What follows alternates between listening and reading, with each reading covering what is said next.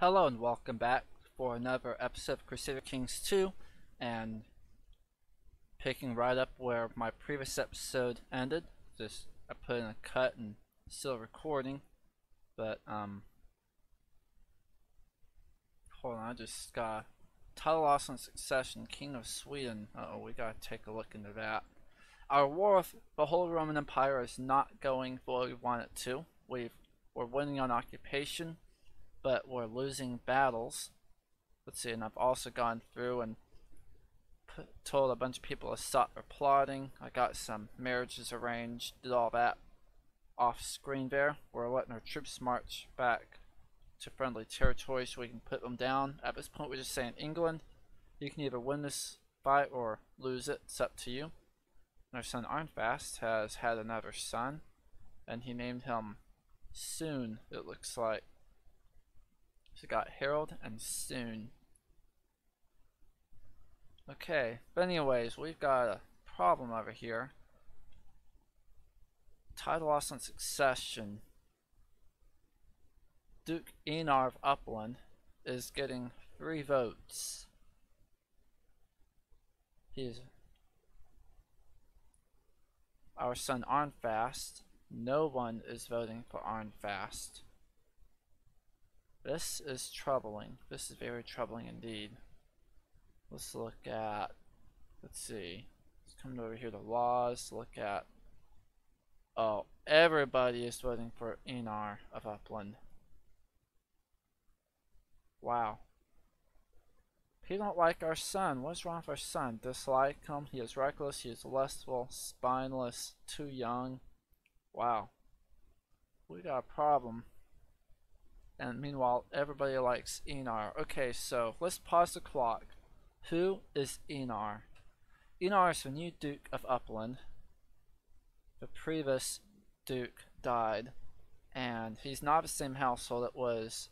Eskild was the previous Duke of Upland. When he died, he had held four duchies. Three of those duchies were inherited by his son, Borkvard II. I take that back. Two of those duchies were inherited by Borkvard. Eskild. Alright, so let's take a look here. The Duchy of Upland, because we are elective, not everyone in these duchies all voted for the same person. Eskild, his du the Duchy of Upland, was inherited by Enar. Enar is the Count of Gästrikland of House Afroden. And he is very, very popular. He's got really good traits, highly suspicious. This character is almost certainly a member of a secret society. Okay. And he also has sympathy for, for pagan religions. This guy is almost certainly going to be trouble. I can almost guarantee that he is secretly a pagan and we're getting ready to have a pagan outbreak in Sweden. I'm sorry, Enar, but you're going to have to go. We're going to have to deal with him. He's got... I would, if it wasn't for this problem here, I would really like this guy. He's got perfect traits. The only problem is we cannot, we do not want to lose Sweden. We want Arnfast to be the king of Sweden, next king of Sweden. But everyone's going to be voting for Enar, and I'm highly concerned that he is secretly pagan. If we look at these, uh, let's look at these other duchies though. So, the other previous Duke of so Borkvard, he inherited two of his father's duchies. He inherited the Duchy of Hälsingland as well as the Duchy of Bergisland.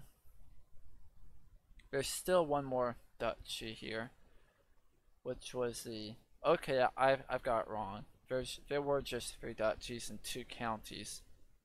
Upland went to Borkvard and no? Yes. Upland and Allen both went to Borkvard okay. So let's take a look. What does this mean? Because I'm still voting for Arnfast what does this mean for our duchy? Let's come down here look at more King of Sweden would go to Enar because of elective. Duchy of Småland would still go to Arnfast because of primogeniture. More, Oland. Everything is going to Arnfast except for the King of Sweden. So we are not looking at a pending game over. That's the first concern. That is the first relief, I should say. We do not want to lose Sweden. I do not want to lose the Kingdom of Sweden here. But if we do, it's not game over. Arnfast would just be relegated to being a duke instead of the king.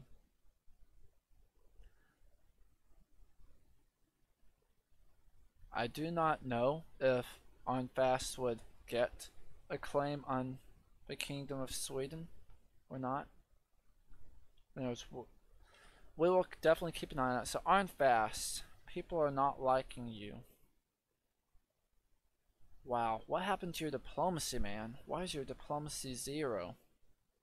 No wonder no one likes you.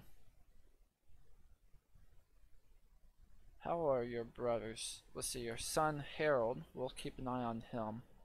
And what about Arnfast's brother Joseph? Joseph is not turning out good at all. He's deceitful, content, envious. Okay. So we've got some work to do on our future heirs apparently. Let's go ahead and get the clock rolling and see uh, check out these messages. Someone else wants to get married. Once again we'll take care of that off screen between episodes. Okay. Enar. I think you're gonna have to go. So just out of curiosity, if we want to have him silenced. I'm gonna stop the clock again. If we were to say plot to kill him, oh, we only have a 22% chance, and he's so popular, I had doubt anyone's even going to go along with this. No, literally, been, literally nobody would be willing to help me. Very, very troubling indeed. Okay, so clock drawing, our troops are marching to Stettin.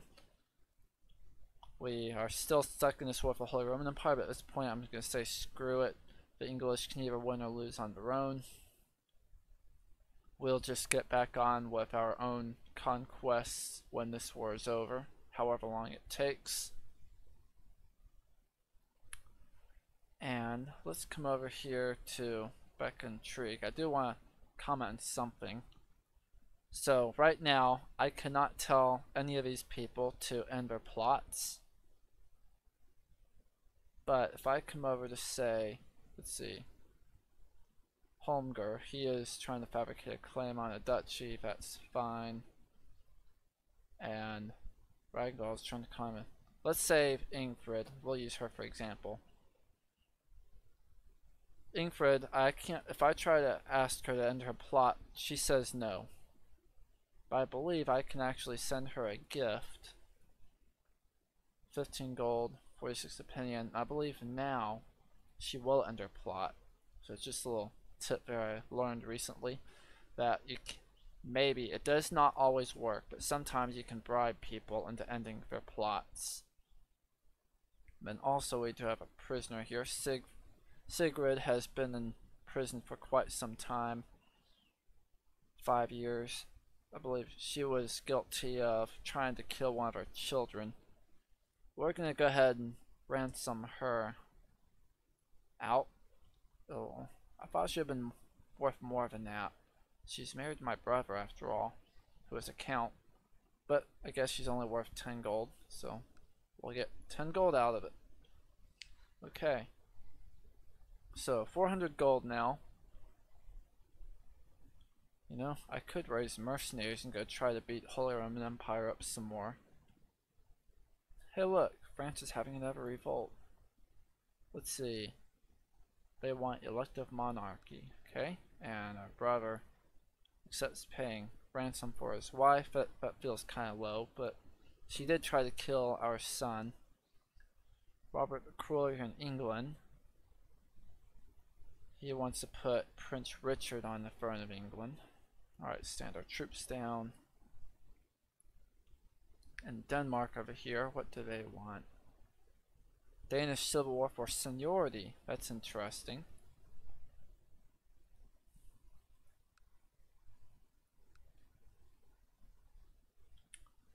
Okay. So we could we could actually hire some mercenaries, but no. We've already sacrificed enough for England's war over here. We're not messing with that anymore. Let's see. You know what? Screw the war with the Holy Roman Empire. We don't have any troops raised. We've got how many levies do we have right now? Because we have taken a beating. We have about 2,000 troops. Let's let our levies build up some more. And then we're going after Angermanland, whether the War of the Holy Roman Empire has ended or not.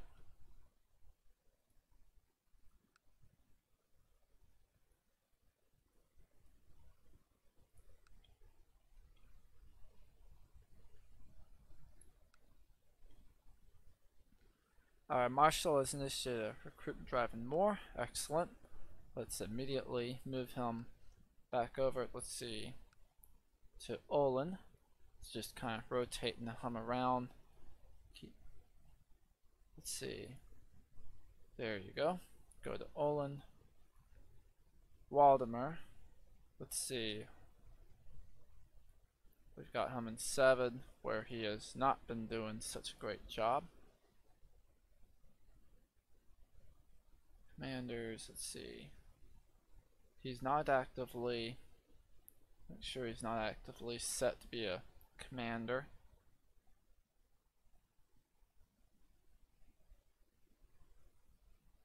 Very good. One child likes a guardian. Okay, my daughter Ruth needs a guardian. And someone just died. We'll check that out in a second. Okay, Ruth. Let's see, what kind of an education we would like for you to have? You know what? I'm going to educate her myself.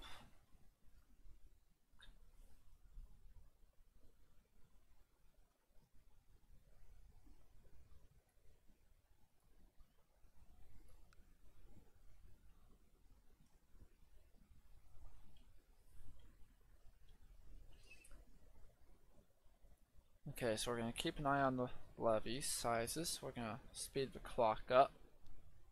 And let's see. The war score for Holy Roman Empire is down to 45%. No child's been born in our court.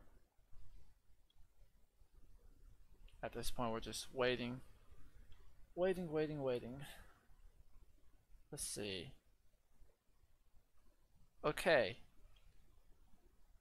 Our levy sizes are almost 3,000 now. Neverly, lady has died. So, lots of deaths going on in our court. Been a lot of turnover. Kind of surprised by that. But anyways, we can raise 3,000 troops now. Angermanland, 1,200. We've got enough. I'm tired of fighting other people's war. We're going to get back to our own wars. He will not accept vassalization. We're going to declare war. We could do a holy war actually, but no, other people can join. We're going to do a de jure claim and we are going to could press it for Duke Borkvard, make him happy. Or I can do it myself and then just give it to whoever I want to give it to.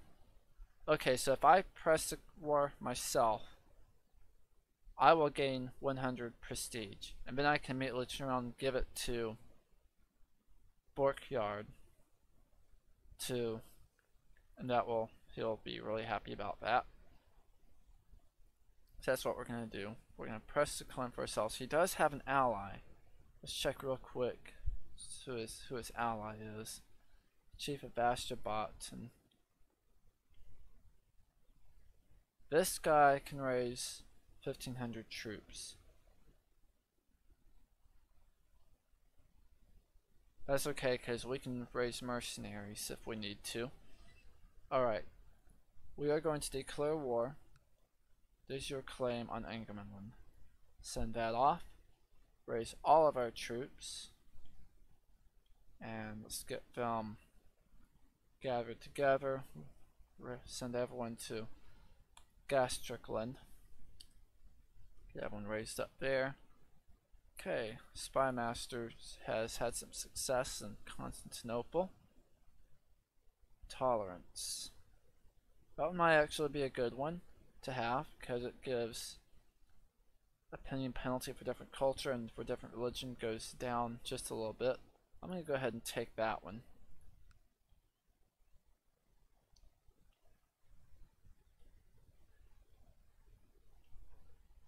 Just get all of our troops together in gas.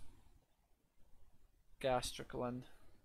And sure enough, the chief of Västerbotten has been called into the war. So we're going to need to make sure we win the war with them. Win a few battles. Right. Steward has collected a special tithe. And let's see. For just a moment, we still have um okay what's this? Message about form alliance from Eric Estrid really?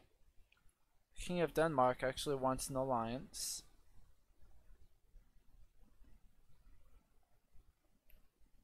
Well why not? Except we might need their help sooner rather than later. Okay And I did check to make sure they were not actively in any wars before we accepted that. Alright, so we can get over here to Medelpad. There's gonna be a they're gonna have a little bit of a bonus here, but I think we'll be fine. River crossing penalty, I didn't see the river there. But it's okay, we are they only had one flank, we're gonna crush them. I could have sworn I heard the enemy commander Johan barking orders, but as I searched for forces never found, he's hiding. Ah, let's check our. My personal combat skill is 9, his is 13. You know what? Let's just tell everyone the battle's cowardice. I don't want to get in a battle with someone who's got a higher combat skill than me. Okay, now let's get over to Angermanland. There's going to be another river crossing penalty. He's got forest. We should be able to crush them though. We crushed the first army, I think we can crush the second one also. And okay, my daughter Ruth has a temper problem. Let's see, let's encourage her to be more patient. And she got the patient trait. Good for her. Now let's see if we can crush. Once again, they only have one flank. We should be able to crush them. And let's see. Once again, another no, I do not want to. I do not want. Uh, I'm probably gonna get stressed or depressed. This is not gonna go well for me. But I'm def. I do not want to duel this guy. I will most likely lose the duel. I shouldn't even have my. I shouldn't even be with my troops in this battle.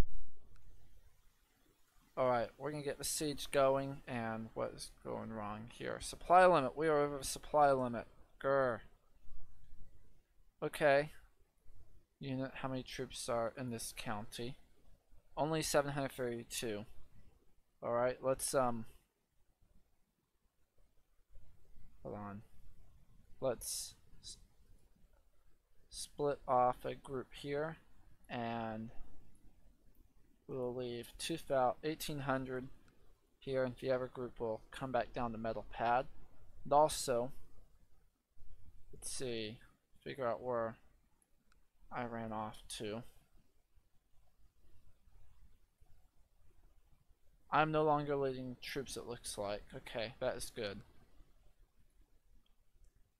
Already had too many close calls there. My wife is pregnant, that's nice. Let's see. Ambitions. Enar wants to become marshal. Want a plot and covered. Alright, I'm going to take just a quick break here to take care of some, double check these plots.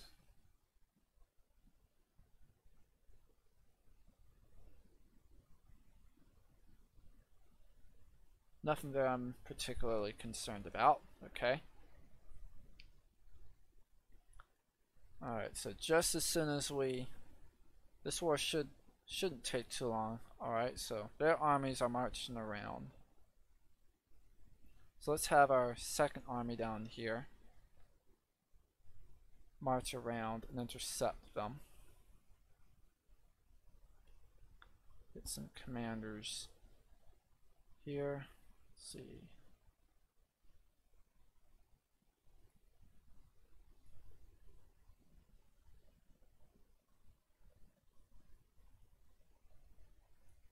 Very well. Now we don't have them outnumbered by a lot. Ah, 100 war score, and also we have a new Jewish man come to our court. Ah, he would make an excellent spy master, wouldn't he? We'll keep that in mind. Should something happen to the one that we've got already. 100 war score. Offer peace. Enforce demands. Angermanland is now back in Sweden. Send our troops down. And we are immediately going to... Actually, you know what? I think I can revoke. Let's see. Revoke the Chieftain of Angermanland. This will lower Chief Board's opinion of you by minus 60. Since Chief Board is a tribal barbarian, our vassals will not object. Okay. Let's do it. Let's take it off him. And... Though it grieves him deeply, he does submit. Angermanland is now ours. And let's see, it is... I do believe it is a tribe. Yes, it is. I don't think we're going to keep Angermanland for ourselves. The reason being because Duke Borkvard, it is de jure part of one of his duchies. Let's just come over here and look at de jure duchies. It is de jure part of Hastings, which he currently holds, right? Yes. So instead of keeping England for myself, I'm going to give it to Duke Borkvard.